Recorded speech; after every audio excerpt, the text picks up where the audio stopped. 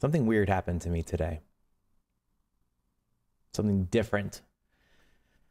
I was uh, on Twitter this morning as after I got up and I saw a conversation between two friends of mine uh, talking about, um, you know, what partnership has done to them or the marks that they can't hit or the effects on their health. And whenever I enter a conversation like that, I'm, I'm always of the, um, I'm always of the thought of, you know, the immediate thing I'm going to do is self-deprecate. I'm going to ask why? Why do people support me? Why do people follow me? Like why would they do it? Like i don't understand. I don't deserve this. And this is something that um, my therapist has has said you know throughout all of this all of this these sessions i've been going through it's it's something that feeds my core belief that i am unworthy that my fear is to be worthy.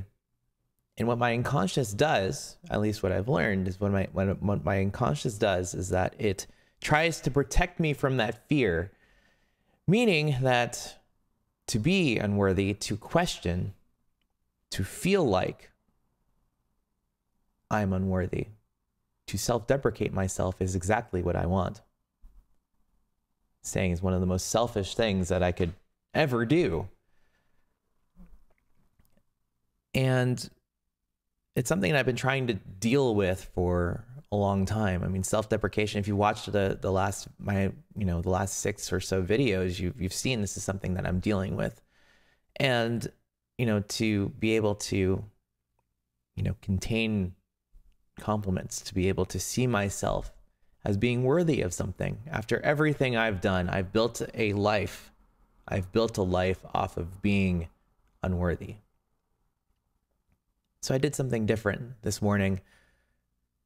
The first thing that came to my head was I wrote something along the lines of partnership is definitely the first step of a new journey. The next line could have certainly been something along the lines of I don't know why people still watch. I don't know why people still sub if I'm not streaming as much as I used to. I mean, I all of this therapy, all all of this all of the stuff last 12 weeks have been a reset. It's been something that I've taken upon myself to find balance, to make, you know, to find balance before, you know, coming back, to make sure my, my, my relationship, my, my marriage, my work is balanced before I actually invest more time into it. And, um, I could have just said, why do people still watch me? Why do still pe people still sub to me? Um, despite all that, but I didn't. I didn't. The first, the thing I said was, I'm so very thankful. And I sat there shocked, shocked that I could have, I said such a thing that, that, that, that was the first, the automatic response. And I'm, I'm sure a lot of people would be like, yeah, you said something nice about yourself. Whoop de doo. But I came out and I, I, I looked at Jen afterwards. I'm like, this is what I did. And she was so very supportive of it because it was to have that be an automatic response, to be, to start to replace the automatic response that my of, of self-deprecation whenever something about my worth comes up or my unworthiness comes up, that belief of me being unworthy and to have a reaction, automatic reaction to the contrary, it's a big thing for me. I think it's a big thing for anybody that is trying to get past this part of themselves. It's it's a definite step in the right direction. And uh, the second thing that I wrote after realizing what I had done was I will never question why people follow me, why people sub to me, subscribe to me, and why people support me because that comes from a core belief of unworthiness. And I'm thankful for everybody that has supported me, everybody that has supported me throughout my journey, throughout the entire, not just Twitch, but my design career. To look at tweets and, and, and see people, you know, consider me such a, a good designer in their eyes. To retain that, to be thankful for it to say, yes, I do. I am worthy of that. I have worked hard. Still feels so weird for me to say that stuff. Feels like boasting. Feels like I'm not being humble.